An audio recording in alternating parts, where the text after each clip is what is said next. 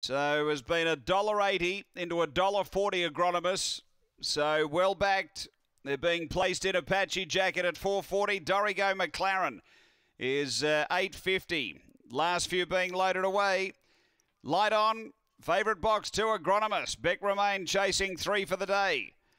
They're ready racing. Agronomous out okay. Apache Jacket begins well. Aston Frank and out deeper. Dorigo McLaren and yeah, nah, Gary getting through. Agronomous those going to drive through with a clear lead now from Apache Jacket. Dorigo McLaren and then came Aston Frank, but Agronomous clear. Three for the day for Beck Romain. Agronomous goes on to win. Dorigo McLaren second. Aston Frank runs third. Uh, then came Apache Jacket with yeah, nah, Gary. The time here is around 16 and 70. That's another short price fave home here at the bridge. And Agronomous, uh, well backed, $1.80 into $1.30 at the jump. And Beck Romain with three winners for the day. Numbers are 2, 8. The time here is 16 and 69.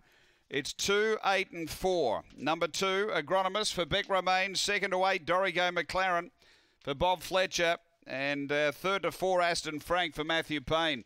2841 after race number 10 here at Murray Bridge.